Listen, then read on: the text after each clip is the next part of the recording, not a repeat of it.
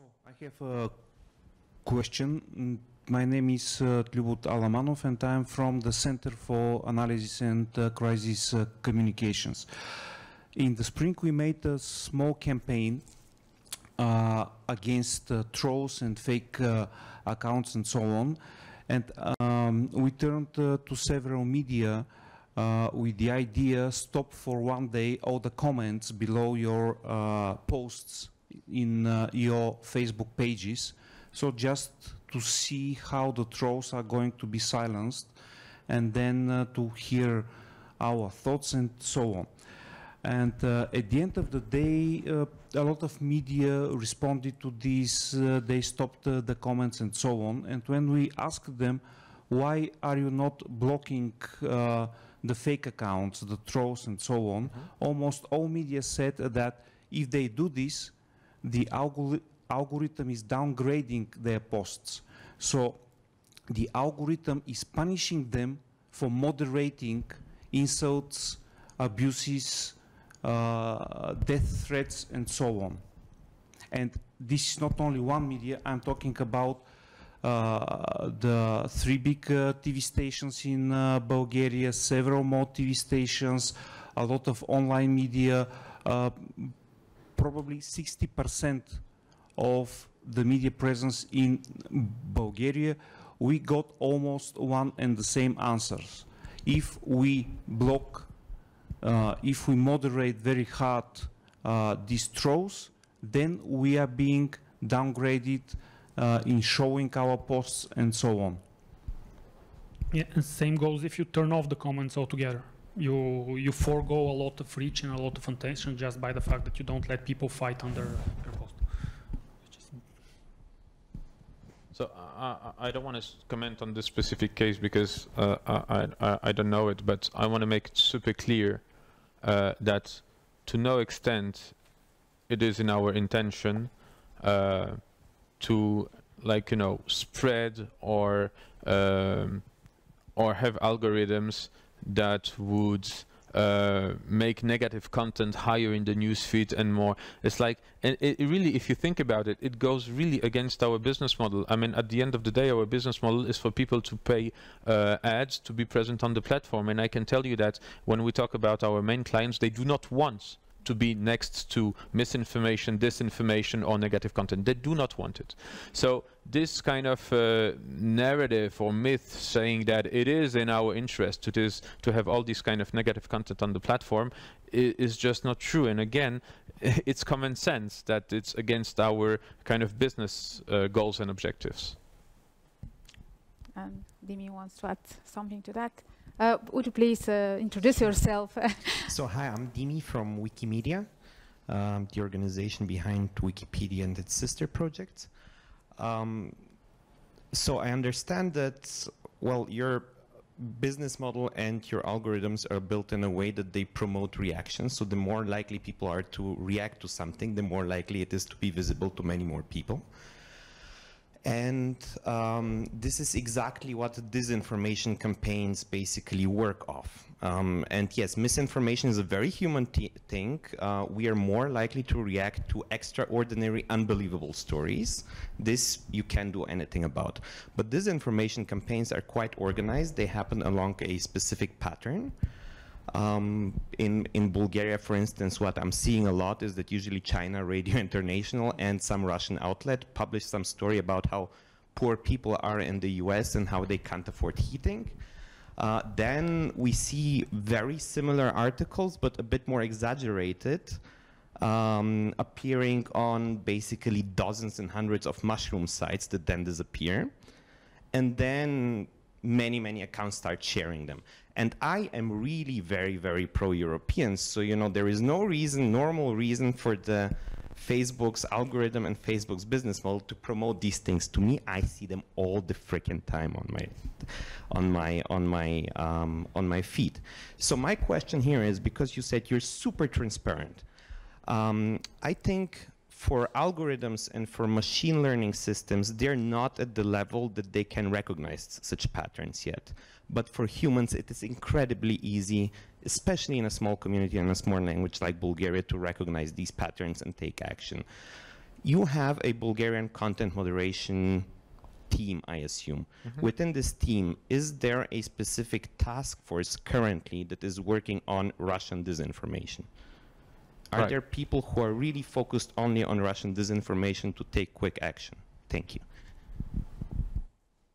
So, as I said, we do have a team that is working on disinformation, on CIBs, and this is really a, a team of like the best experts in the world. This is not a team that is working specifically on Bulgaria, but if you go on their reports, you can see that quite some of the networks that they remove are to some extent Russia related. Again, uh, it's it's all shown in the reports. So obviously, uh, everything that comes from the country that you mentioned is also on our radar. It's not the only source of disinformation, but it is. Now, that being said, about what you wh- what you're talking about, I guess the reason why we're here today is, to some extent, for me to maybe discuss with you and better explain how we operate. But it kind of goes both ways, uh, and it is really important for us. And we have our public policy manager for Bulgaria here. That um, if there are like huge things that we don't see, uh, well, we'd be delighted to enter into some sort of, you know, contact. Uh, and then it's our duty to go to the CIB team and say, guys, maybe here in Bulgaria, uh, despite the fact that you guys are great, maybe here in Bulgaria there's something you didn't see. Up to you to assess. So it, it really kind of goes both ways, and that's also why we're having this discussion. No, no. Uh, just to introduce yourself, please. Thank you. Uh, my name is Neno Nenov, and I work as a policy uh, advisor to a member of the European Parliament, Eva Maydell.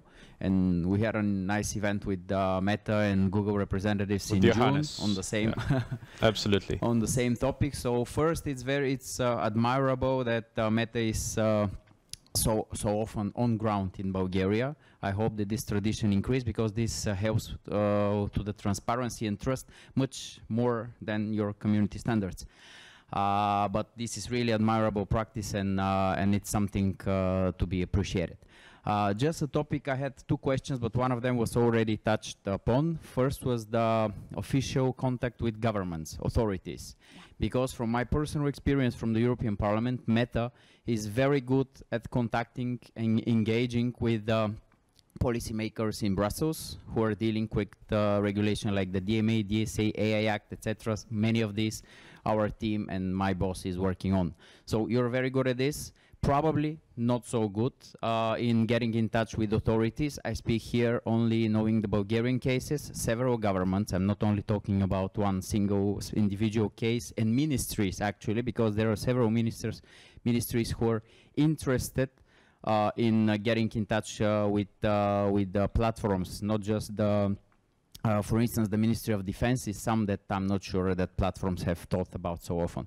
So just something like an advice, uh, get your streams of contacts which you mentioned that you have, and I believe you have uh, much more efficient, at least with countries like Bulgaria. It's in mutual uh, interest. This is uh, just a slight comment. And a specific question more on the specific topic of the today's event, the content moderation in Bulgaria. As you mentioned, you've been working with uh, Agence uh, uh, Agence France-Presse, yes. Uh, and uh, okay, it's one content moderation. Uh, let's assume that before fact check BG got their um, verification by the IFCN, there has been none other verified fact checkers in Bulgaria. It's I don't case. know. I don't know. I just assume. I really don't know, but this is the only logical reason that I can think of that you work with only one Yeah. uh, institution. So if there is there was only one, then uh, have you made any efforts to increase at least their capacity of the people, resources who are engaged in uh, helping Meta because they have their other uh, businesses, of course, uh, like a media outlet.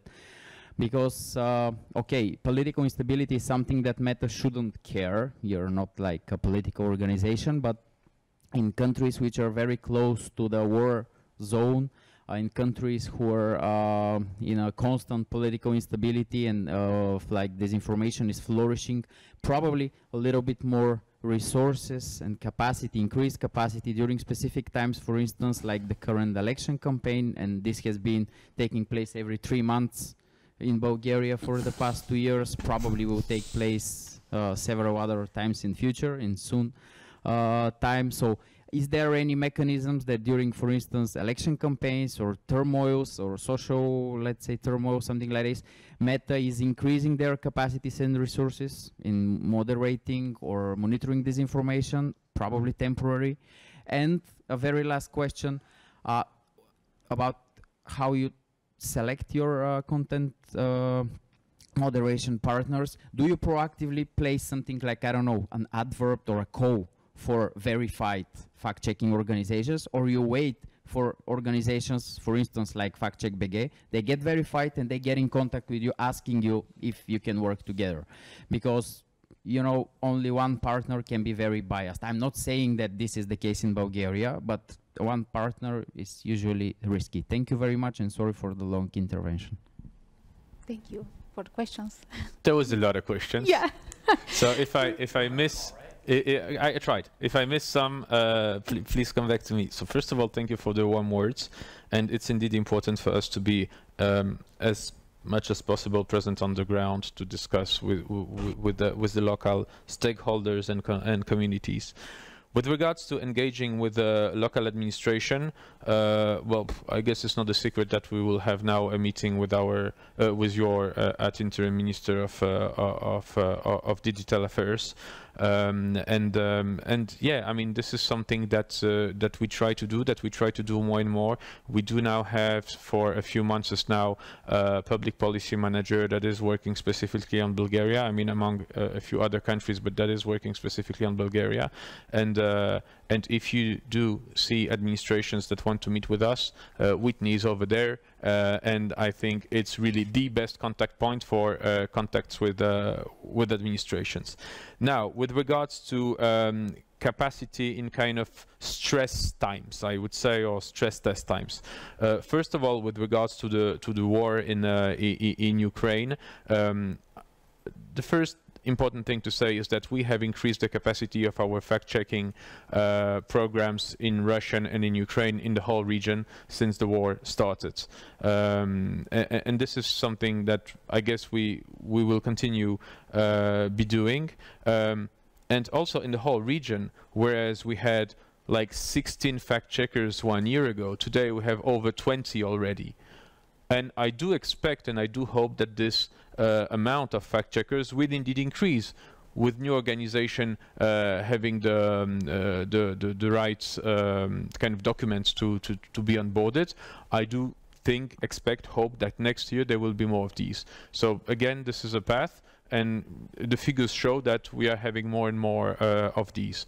Now, with regards to the elections, of course that elections are like fully mapped and we have in the kind of back office what we call what we call XFN teams. So it's really teams of different kind of sub teams. You have legal, you have people like me, you have people working on misinformation, disinformation, content, whatever, and they really focus uh, on um, on everything that they should focus on for the elections in Bulgaria uh, to be like clear on our platform and to ensure the transparency of the elections. Uh, and you know, more broadly speaking, we have nowadays I think 40,000 people working on safety and and trust with Meta, which is like I think four times more than in 16. Uh, only last year we've invested five billion dollars on safety uh, and trust on our platform. So uh, again, are we perfect? No, we're not. Uh, are we an industry leader? Well, I think we are. Uh, I think we are, and I think that our efforts are uh, really clear. Um, again, uh, more can be done, yeah, but really the efforts are here. Uh, but coming back to to to, to the uh, to the elections, uh, yes, we do have specific teams working on the elections. yes, we are in contact with authorities to uh, allow for the elections to be, again, clear on our platform. Uh, and yes, we're open to partnership with NGOs. Uh, again, I think like, you know, fact, uh, not fact-checking, but uh, media literacy campaigns in the context of the elections is also something that is extremely important and that would maybe be interesting to do. Um, in fact, I will jump in here just for a second and uh, go back to you with your questions because this was um, uh, meant to be like a wrap up of to our discussion here. It was about especially evolving, evolving concept of media literacy and how you see what knowledge, understanding, and skills are required um, and needed for users to better comprehend how content moderation works and to create these ethics in users to read community standards, to understand them better, to be more responsible. Uh, so the knowledge, the understanding, the skills, what they are in your opinion. And they are in fact, media literacy in Bulgaria is part of the civic education. Um, and how meta could be part of this um, uh, creating resources, incentives for different organizations to train teachers, to train people young and elderly on that? I think that working at scale is really the main answer here because the resources they do more or less exist. We can fine tune them, we can make them a bit more local, but the resource they exist. Yeah. The the question is how really to uh, reach to the different kind of audience because uh, reaching being able to efficiently reach the teachers is not the same thing than efficiently reach the kids and teenagers, which is not the same thing than efficiently reach the parents, which is not the same thing to efficiently reach the voters, right? And so these kind of strategies um, it is something that is to be implemented with local stakeholders because honestly I do not have the knowledge about how to reach parents in Sofia. I, I, I don't know. And hence partnership is, is extremely important. Um, and then when we talk about elections and stuff like that then it's really scaling uh, and doing things in partnership with other media that I believe may be the most kind of efficient here. Uh, thank you for that and probably some of you would like to add yeah? Uh, Dr. Galev.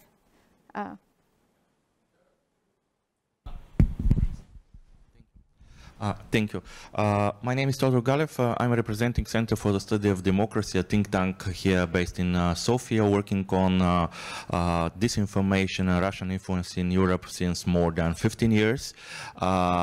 so there are two major issues, let's say, here with the content moderation based in Bulgaria. One is what already Nicola mentioned. it is about the algorithms, how they promote and are used by inauthentic coordinated behavior or groups that are using the algorithms uh, in their benefit. And this is, let's say, a technical question. Uh, but uh, the other question is about the content moderation that is done uh, by persons, that, by individuals. Uh, and I'm not talking about fact checkers. I'm talking about the um, company which is uh, subcontracted here in Bulgaria uh, from Meta uh, to do the content moderation. And very often there are worries and concerns that actually this content moderation, and we are not sure, we are not sure whether uh, uh, a post or account is blocked or uh, taken down by the algorithm or by a decision of a person from these content moderators based here in Bulgaria. But there are a lot of, uh, in last, I would say, uh, year, uh, there are a lot of uh, worries and concerns and a public debate about how this um, how this company has been selected, how you enforce your own community standards on the work of this company. Whether is it possible that, uh, let's say, uh, the, uh, let's say the personal biases of content moderators, of the persons that are doing uh, uh, the content moderation, uh, influence the work of these persons. And uh, the, the biggest problem is that for this issue, there is nothing as a reliable information, let's say. There are only rumors.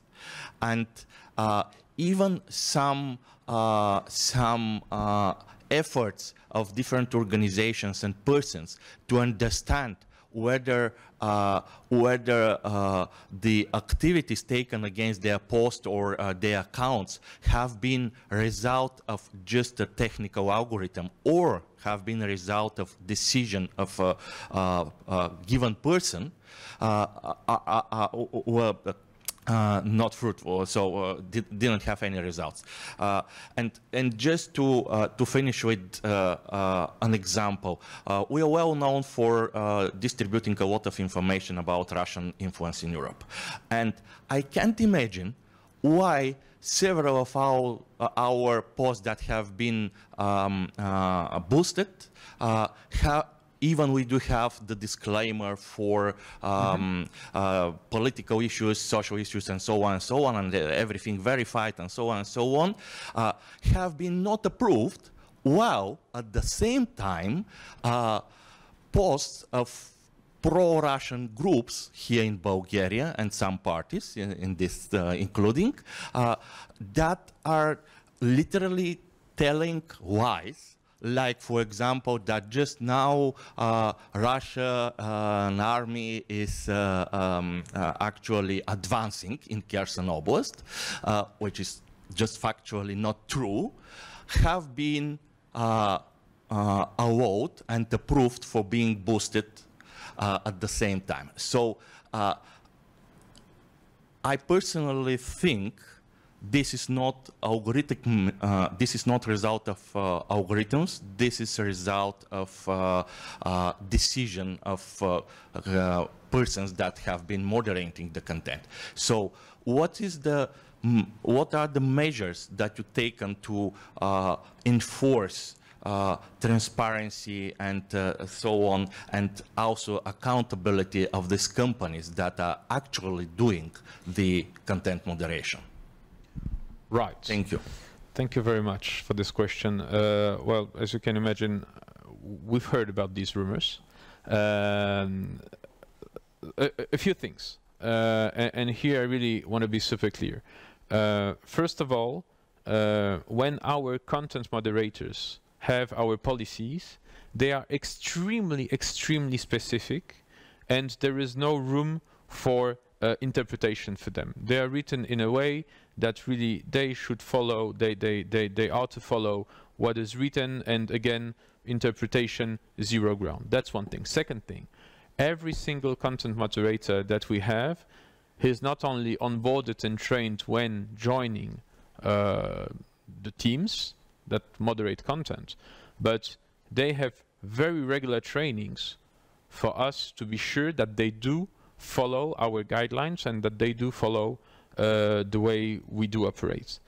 Then within the companies, the different teams are weekly audited, weekly audited on the quality of their work, on you know randomly chosen and stuff.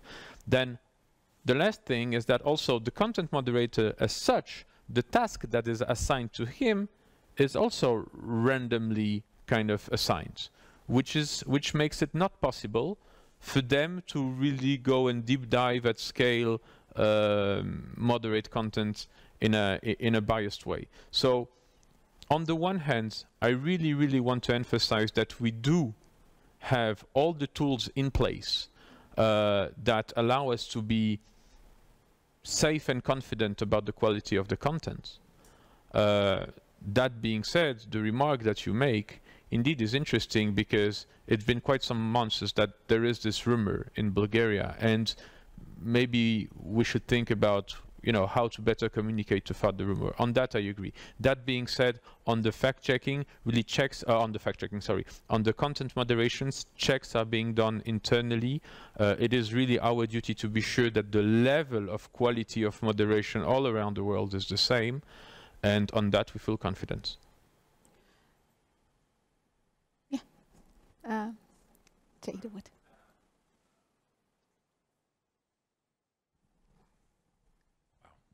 Okay. Um, um, my name is Ilyan, uh, Ilyan Vasiliev. I um, used to be ambassador of Bulgaria to Russia, and then I'm running a, a uh, an alternative uh, analysis uh, NGO foundation, uh, fully dedicated to um, telling Bulgarians uh, uh, the intricacies of Russian policies.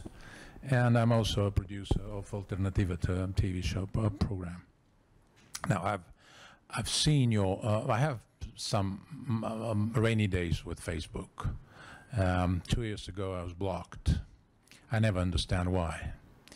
Lucky me, I had a friend who gave me uh, 10 of the top down from Mark Zuckerberg email addresses, and I complained, and within one hour, I was released from prison. Now, with regard to transparency, first question, how transparent is an organization where you have a problem with being blocked and you don't know whom to address your complaint to? How does your review process goes? Because you were just telling us that, um, and I'm, I'm, i will be challenging you because uh, now we're at war and Facebook is being used by Russians to, uh, if you look at the opinion polls in Bulgaria, you would see that Bulgaria is perceived as a most pro-Russian country. But it's not because of the Bulgarians, it's because of the propaganda. And they use social media. Do you know who is uh, best at using Facebook for promoting his party campaign? Vazrazhdane, the most pro-Russian, anti-Western company, uh, party. And I, and I'm, Yeah. I, I'm fully confident that whatever your AI algorithms or tr- well-trained guys are doing, they're not doing a good job because that is exactly what they're doing. And that's why they're proliferating the media with their uh, total nonsense. And there's no Right. check. So on that, so first of all, we do have appeal channels. As I already said, the DSA will kind of increase the visibility of these appeal channels, and I fully agree with the fact that mistakes happen and appeal channels should be there. They are there. They will be better. That's one thing. Second thing, I it's like with this kind of narrative, and I'm sorry to say so. Uh, of course, we are an extremely important part of this whole kind of game. But I, I wouldn't like that people have the impression that we are the source of all evil.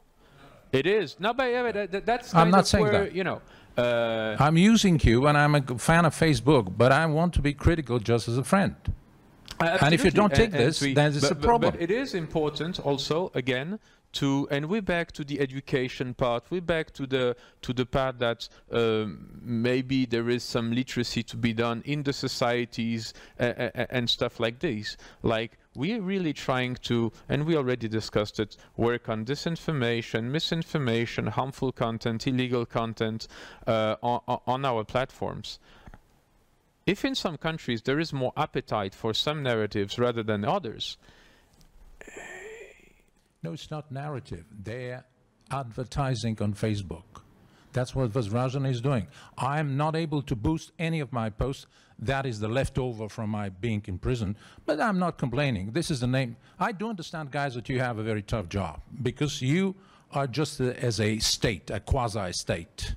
And it- we'll look what states look like. And now I, I can't blame you for, for all the deficiencies and handicaps that you have because it's I- a if the tremendous guy you're talking about is advertising on Facebook, and if this is misinformation, then this is content that should land in the third-party fact-checker bucket. And that's that that that's where I'm trying to tell you that the tools do exist, right? It's difficult for me today to talk uh, on on specific cases, but uh, like if you look at it at scale, the tools do exist.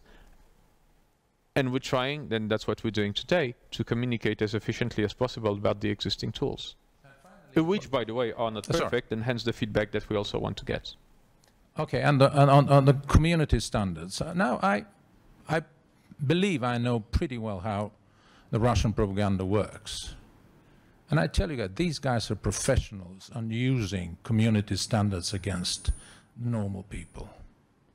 They excel at that. They are better than you even believe. And that's exactly what they're doing. They organize troll armies, which are absolutely weaponizing your community standards against the, uh, the, the larger community in Facebook. And they know every single letter, every single angle which they can use in order to. And uh, okay, I know that it's Back to back to our discussion. So should we be more transparent in our community standards? In terms of transparency, there's uh, and uh, there are end.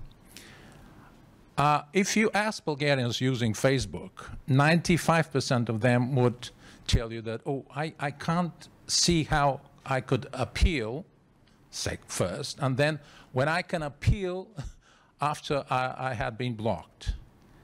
Uh, it is, well, transparency for me is ease of access. Okay?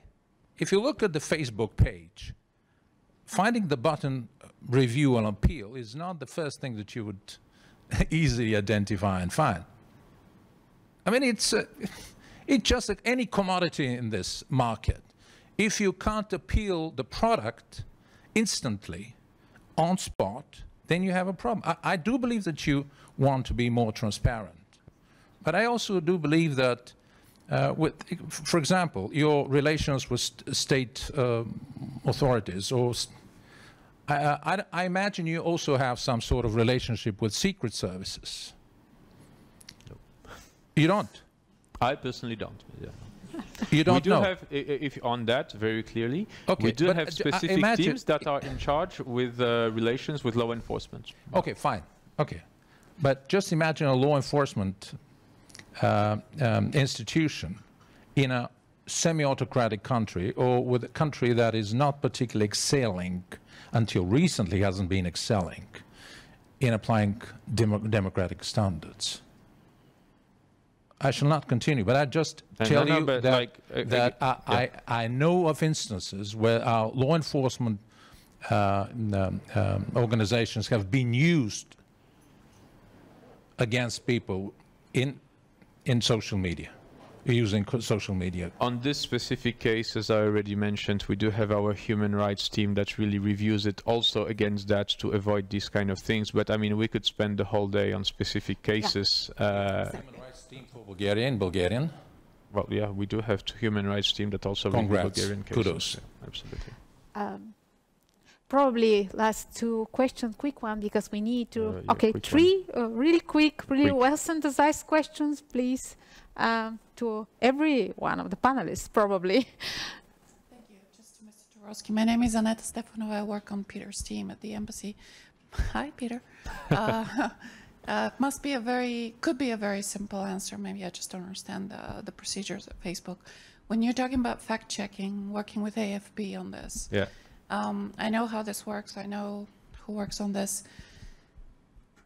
Is there a reason why, if you identify a story as fake news, you just put out a warning and not take it down completely? Yeah, it is a decision that's been taken by us on purpose uh, because we do believe that, uh, again, true, not true, it remains like something that is to be defined. And we do believe that if we remove it completely, well, the story would will go elsewhere anyway. So we do prefer to uh, downgrade it like up to 80% and allow our users to see it less rather than completely remove it. That being said, this is a like you know it's a fair question and um, something on which I understand there can be debate. Yeah. Because obviously, the contrast of actually taking down people's profiles, um, you know, it, it's not fair uh, in my Well, mind. it's not Whereas fair if, if you have a profile has been taken down. It's been taken down because it's been misleading several times our community standards. That is the reason why it's being taken down. For uh, fake news and content that has been assessed as fake news by our fact checkers, indeed the policy today is to downgrade it in the in the newsfeed. Maybe something to reconsider in the future, especially given how serious AFP are in actually establishing the facts and the truth and just continuing the spread of fake news, actually. Um, it's probably not fair to societies around the world. But thank you very much for the explanation. Thank you. Um, yeah. Please introduce yourself. Hello, I'm Rusina Petrova from the Bulgarian National Radio and also a part of the fact checking team. My question is um, Can the traditional medias like uh, Bulgarian National Radio help Meta uh, fight uh, against fake news? We've been talking about at scale campaigns, and I think that such a media like the one you represent may be to be discussed, of course, but maybe precisely a good ally in making really huge campaigns, not only um, like on Meta, but also in other media campaigns uh, to raise awareness of the users. So yeah, I think that there is room for cooperation here, absolutely. Yeah. I'll add that I think that we've been very impressed at the embassy with uh, the sort of grassroots uh, fact-checking initiatives that have sprung up uh, in in since the uh, full-scale unprovoked Russian invasion of Ukraine, especially, uh, but even before uh, here in Bulgaria. And I think that there's a lot of great work being done in that space. And the embassy has had a lot of um, grant opportunities and a lot of engagements uh, on disinformation and fact-checking in particular. And we we want to continue to ramp up our our presence and our work with local partners like BNR to to do more uh, because I think that's where the real the needle can be moved in a real way is with credible local voices uh, doing that, that good work. Thank you for adding that because uh, the role of the American Embassy is important for organizational working in in education, We including do, in we do our humble best. yeah, and Ivail, probably you are the one last. Ivail was also from UNICEF Bulgaria. And hi to, to all the panelists. Uh, indeed, I'm uh, representing the Bulgarian office of UNICEF, uh, and I have a particular question. I'm not going to talk about, uh, you know, elections and war because most of the other uh, members of the audience did already. But I want to mention the angle of uh, um, public health when it comes to the COVID pandemic. And kudos, by the way, to Meta, who was very proactive in partnership with UNICEF, with WHO, with the big, uh, I would say, uh, UN agencies and other stakeholders that were promoting scientific factual information. Uh, I've been personally involved in many campaigns throughout the last three years, and I know Meta was supporting uh, that factual, scientific-based information. And yet, something went wrong. I mean, we had all the resources in place, all the fact checkers, all the science behind the vaccines, uh, and we see in reality that for countries like Bulgaria, the processes were very politicized, very, um, I mean, conspiracy theories, rumors all together. And I'm saying it from purely practitioner's point of view that we are seeing hesitancy so high that it's already affecting uh, the vaccine coverage, for example, on other diseases like measles, polio, that we thought are already eradicated or close to eradication. And this is uh, definitely due to a large scale uh, disinformation and misinformation organized campaigns that even Meta could not counter, I would say, because uh, I don't know, they were super organized, the, the uh, conspiracy theories and uh, non-scientific uh, rumors. And WHO, for example, has proven with, with reports and analyses that disinformation in the real life actually uh, takes lives and harms the well-being of people. So my question would be, uh, how do you assess probably your involvement in the in the whole pandemic uh, content moderation aspect, if there was a content moderation aspect, particularly to the COVID-19 uh, crisis, uh, I don't want to talk about it in past tense because the Yeah. pandemic is not over, and I'm I'm sure, and I'm, I can testify from my personal experience that Meta was doing a lot to really promote scientific information and fact-based information, and yet, for example, in Bulgaria, we never passed the 30% threshold of vaccinated people, and we are gonna see a long-term devastating consequences on the health of people when it comes to yeah disinformation. Um, yeah, Well, thank I, you. I guess, thank you very much for this question. Uh, so, first of all, I, I I really think that we did and try to do our, our bit on COVID. What is extremely important, and also back to the former question, misinformation that can drive to uh, physical harm to our users, which is basically COVID misinformation, is the only misinformation that we do assess as being against our community standards and hence we remove. It's not something that we send to our uh, third-party fact checker uh, and that we ask them to review and then we maybe downgrade or not. Misinformation that has uh, uh, uh um, uh, that can be harmful to the users is something that, that is removed and that we did remove. Um, that is one thing. On the other hand, as you said, it was super important for us also to promote WHO content, uh, UNICEF content. I mean, only a few weeks after the pandemic, we have created this information center that was on top of every newsfeed during months, months. So we've done our bit. Did we do enough? I don't know, maybe not. Uh, are we like the main player to blame about how many people are vaccinated or not? Not sure, really not sure. Um, we have to wrap up, um, and if you allow me to, I would try to extract some key phrases from our conversation. First of all, this is only the beginning, I believe, of our conversations. Of course. But uh, we'll, we all agree on these key phrases. Transparency, multi-stakeholder cooperation, partnership with organization and civic society, um, uh, education, with, with a huge exclamation point, uh, education, debunking, the really important work uh, fact-checking organization, but also because we finish with that pre-bunking, because this is probably the next big thing in content moderation. Uh, thank you all for your participation and thank you uh, to all the members of the audience for being active, engaged,